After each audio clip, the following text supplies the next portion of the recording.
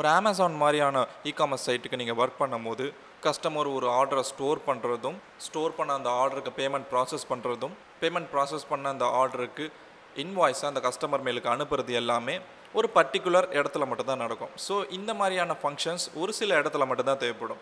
ஆனால் எங்கள் அமேசானில் ஒரு ப்ராடக்ட்டை லிஸ்ட்டு பண்ணுறது பாருங்கள் ஹோம் பேஜில் லிஸ்ட் பண்ணியிருப்பாங்க கேட்டகரிக்குள்ளே லிஸ்ட் பண்ணியிருப்பாங்க டாப் டீல்ஸ்ன்னு சொல்லிட்டு லிஸ்ட் பண்ணியிருப்பாங்க ஆஃபர்ஸ்ன்னு சொல்லிட்டு லிஸ்ட் பண்ணியிருப்பாங்க ப்ரைம்னு சொல்லிட்டு லிஸ்ட் பண்ணியிருப்பாங்க ஸோ கேட்டகரி ப்ரைமு ஹோம் பேஜ்னு இப்படி தனித்தனி இடத்துல அந்த ப்ராடக்ட்டை லிஸ்ட் பண்ணியிருந்தாலும் இங்கே காமனாக நடக்கிற ஒரு விஷயம் என்னென்னா ப்ராடக்ட்டை லிஸ்ட் பண்ணுறது ஒவ்வொரு பேஜும் ஒரு ஒரு கண்ட்ரோலர்லேருந்து வருதுன்னு வச்சுக்கோங்க. அந்த ஒவ்வொரு கண்ட்ரோலருக்குள்ளேயும் போயிட்டு இவங்க வந்து ப்ராடக்ட்டை லிஸ்ட் பண்ணுறதுக்கு தனித்தனி ஃபங்க்ஷனை எழுதி வச்சுக்கிட்டு இருந்தால் கோடிங்கோட டைம் எவ்வளோ இழுக்கும்? இந்த மாதிரியான சுச்சுவேஷன்ஸை இவங்க தவிர்க்க தான் இவங்களுக்குன்னே தனியாக ஒரு சில லைப்ரரிஸை உருவாக்கிப்பாங்க. அந்த மாதிரியான லைப்ரரிஸ்குள்ளே ப்ராடக்ட்டை லிஸ்ட் பண்ணுறதுக்கான ஃபங்க்ஷனை மட்டும் எழுதி வச்சுட்டாங்கன்னா அந்த லைப்ரரியை எல்லா கண்ட்ரோலர்லையும் யூஸ் பண்ணிவிட்டு எங்கெங்கெல்லாம் ப்ராடக்ட்டை லிஸ்ட் பண்ணுறாங்களோ அப்போல்லாம் அந்த லைப்ரரியோட ஃபங்க்ஷனை யூஸ் பண்ணிப்பாங்க. இதனால் ஒரு லைப்ரரி ஒரு ஃபங்க்ஷன் பல இடத்துல அப்படின்னு சொல்லிட்டு இவங்க யூஸ் பண்ணிவிட்டு கோடிங்கோட டைமை கம்மி பண்ணிப்பாங்க. அஃப்கோர்ஸ் நீங்கள் கோடிங் நெட்டில் ஒர்க் பண்ணும்போது உங்களுக்குன்னு நீங்களே ஒரு கஸ்டம் லைப்ரரியை உருவாக்கிக்கலாம். அதை பற்றி தான் நம்ம இப்போ பார்க்க போகிறோம் ஃபர்ஸ்ட் உங்களோட ப்ராஜெக்ட் ஓப்பன் பண்ணிக்கோங்க. அதில் அப்ளிகேஷனுக்குள்ளே வந்தீங்கன்னா லைப்ரரிஸ்ன்னு சொல்லிட்டு ஒரு ஃபோல்டர் இருக்கும். அந்த ஃபோல்டருக்குள்ளே தான் உங்களோட லைப்ரரியை நீங்கள் க்ரியேட் பண்ண போகிறீங்க இப்போ ரைட் கிளிக் பண்ணிவிட்டு நீங்கள் உங்களோட புது கிளாஸ் ஃபைலை நீங்கள் சேவ் பண்ணிக்கலாம். அந்த கிளாஸ் ஃபைல் என்ன வேணால் இருக்கலாம். இப்போ நான் உருவாக்க போகிற லைப்ரரியோட பேர் சைட் ஸோ இப்போது அந்த ஃபைலில் நீங்கள் ஒரு கிளாஸை உருவாக்க போகிறீங்க சேம் நேம் சைட் அப்படின்னு சொல்லிட்டு.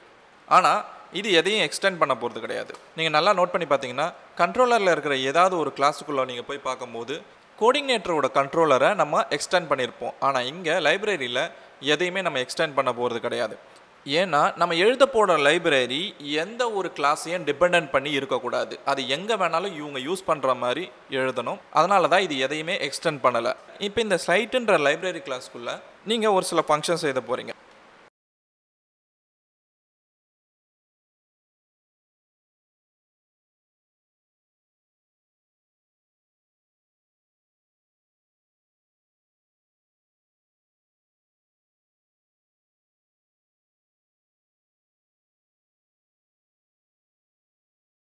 இந்த சைட்டுன்ற இந்த லைப்ரரி கிளாஸ் மூணு ஃபங்க்ஷன்ஸை கொண்டு இருக்குது டைட்டில் நேம் டிஸ்கிரிப்ஷன் மூணு ஃபங்க்ஷன்ஸ்லையுமே ஏதோ ஒரு டெக்ஸ்ட்டை அது எக்கோ பண்ணுது.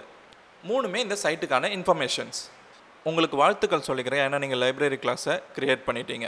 இப்போ அடுத்து இந்த லைப்ரரி கிளாஸை எப்படி யூஸ் பண்ண போகிறோம் ஸோ கண்ட்ரோலருக்குள்ளே இருக்கிற வெல்கம் கிளாஸை ஓப்பன் பண்ணிக்கிறேன். அதுக்குள்ளே வெல்கம் அண்டர் ஸ்கோர் மெசேஜின்ற வியூ லோட் ஆகிருக்கு இப்போ அந்த ஃபங்க்ஷன்ஸ் எல்லாம் நம்ம இந்த வியூக்குள்ளே யூஸ் பண்ணுறதுக்கு முன்னாடி கண்ட்ரோலர் கிளாஸுக்குள்ளே மறுபடியும் போனீங்கன்னா இந்த வியூக்கு முன்னாடி நீங்கள் பண்ண வேண்டியது உங்களோட லைப்ரரியை லோட் பண்ணணும். அது எப்படின்னா திஸ் லோட் லைப்ரரி அண்ட் உங்களோட லைப்ரரியோட நேம் சைட் நீங்கள் உங்களோட லைப்ரரியை பர்டிகுலராக இந்த ஒரு இண்டெக்ஸுன்ற ஃபங்க்ஷன்ஸ்குள்ளே லோட் பண்ணியிருக்கீங்க. இந்த சைட் முழுக்க எல்லா இடத்துலையுமே இந்த லைப்ரரியை நீங்கள் காமனாக யூஸ் பண்ண போகிறீங்கன்னா உங்களுக்கு ரெண்டாவது வழியை சொல்கிறேன் கான்ஃபிக்குள்ளே போயிட்டு ஆட்டோ லோட்குள்ளே லைப்ரரிஸ் அப்படின்ற ஒரு அரேக்குள்ளே நீங்கள் உங்களோட லைப்ரரியோட நேம் அதாவது சைட் அப்படின்னு சொல்லிட்டு கொடுத்துடலாம். ஸோ உங்கள் என்டையர் ப்ராஜெக்ட் முழுக்க இந்த லைப்ரரியை நீங்கள் யூஸ் பண்ண முடியும். இப்போ நம்ம இந்த வெல்கம் அண்டர் ஸ்கோர் மெசேஜ் வியூக்குள்ளே போகணும். அதுக்குள்ளே இப்போ நான் என்னோடய லைப்ரரி யூஸ் பண்ண போகிறேன் ஷார்ட் அண்ட் பிஹெச்பி எக்கோவை யூஸ் பண்ணிக்கிட்டு அதுக்குள்ளே திஸ் சைட் அதாவது உங்களோட லைப்ரரி நேம் அதுக்கப்புறம் அதோட ஃபங்க்ஷன் நம்ம சைட்குள்ளே டைட்டில்னு ஒரு ஃபங்க்ஷனை ஆல்ரெடி உருவாக்கி வச்சுருக்கோம். இப்போ இந்த ஃபங்க்ஷனை நம்ம யூஸ் பண்ணிட்டோம். இப்போ அடுத்தது சைட் நேம் இந்த இடத்துல. அடுத்தது டிஸ்கிரிப்ஷன் இந்த இடத்துல.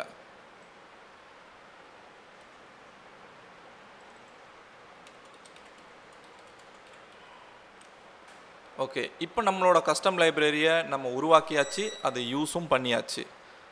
இப்போது நம்மளோட சைட்டை ரிஃப்ரெஷ் பண்ணி பார்ப்போம்.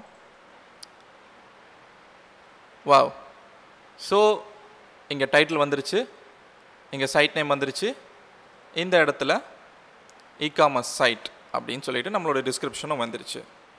ஸோ இந்த கோடிங் நைட்டில் லைப்ரரியை க்ரியேட் பண்ணுறது எப்படி நீங்கள் இப்போ கற்றுக்கிட்டீங்க ஆனால் இந்த லைப்ரரி நீங்கள் யூஸ் பண்ண பிறகு நீங்கள் சந்திக்க போகிற முக்கியமான டவுட் அண்ட் பிரச்சனை என்னவாக இருக்கும்னா இது ஒரு சாதாரண பிஹெச்பி கிளாஸ்ன்னு சொல்கிறீங்க அதனால் அது கண்ட்ரோலர் கிளாஸை எக்ஸ்டெண்ட் பண்ணலை.